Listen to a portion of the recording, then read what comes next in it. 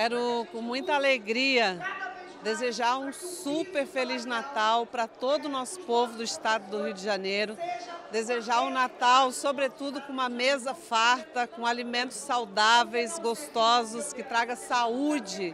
e muita prosperidade para o próximo ano de 2024, que nós estejamos, continuemos juntos